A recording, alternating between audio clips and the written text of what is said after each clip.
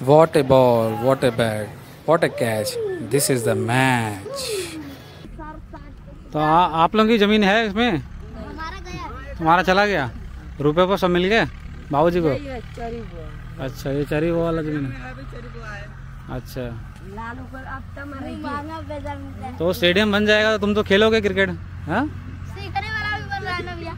सब सीखने वाला भी बन रहा है बड़ा स्टेडियम मिला तुम तो खेलोगे अच्छे से हाँ? क्या? जब तक तो तुम बड़े हो जाओगे तब तक यहाँ स्टेडियम बन जाएगा एक है ना? तो खेलोगे? खेलोगे कि नहीं खेलोगे? खेलोगे? अभी खेलते हो कि नहीं? क्या खेलते हो? क्या करते हो बॉलिंग में? अरे मैच में क्या करते हो? बॉलिंग पसंद है बैटिंग क्या? बैटिंग? दोनों?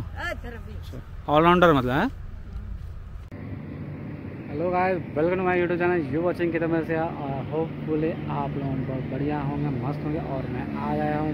आप जान ही सकते हैं किधर आया हूँ। हाँ ये एक स्टेडियम है, और जो बनने, मेरे पीछे देख सकते हैं, ये एक टाइप का एक बहुत बड़ा बनारस में स्टेडियम बनने वाला है। बड़े बड़े होटल्स बनेंगे इसमें, और यहाँ पे देख सकते हैं।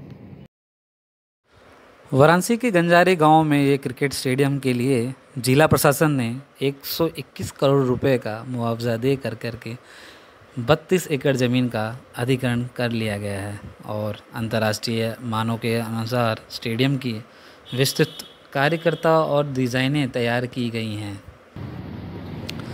स्टेडियम में तीस हज़ार दर्शकों को बैठने की सुविधा रहेगी। कुल लागत इस प्रोजेक्ट में 350 करोड़ रुपए की है।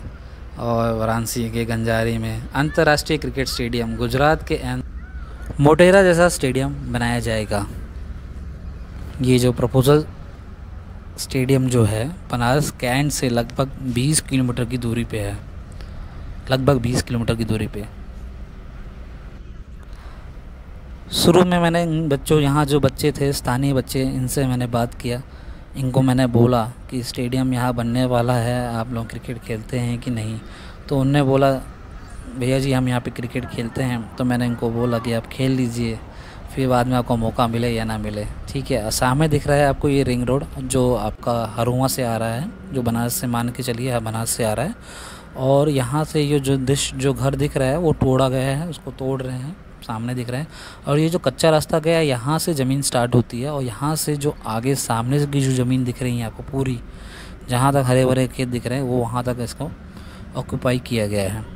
आप देख सकते हैं, ऊपर से फ्लाईओवर है, जो ट्रक जा रही है, राजा तालाब की तरफ़ जा रही है। इससे आगे राजा तालाब है, यहाँ से राजा तालाब कम से कम दो किलोमीटर की दूरी पे है। दो या ढाई किलो की किलोमीटर की दूरी पे है। यहाँ से आप देखिए, आगे की तरफ़ जो रास्ता गया है ये दृश्य आप देख सकते हैं। यहाँ से वहाँ तक पूरा यहाँ पे एक स्टेडियम बड़े बड़े होटल्स फाइव स्टार जैसे होटल भी खुलेंगे। आने वाले समय में यहाँ पे डेवलपमेंट बहुत ज़्यादा जाने वाली है। मिलते हैं अगली वीडियो में। वीडियो देखने के लिए बहुत बहुत धन्यवाद। कुछ अलग टॉपिक में डिस्कस करेंगे हम लोग। नमस्कार।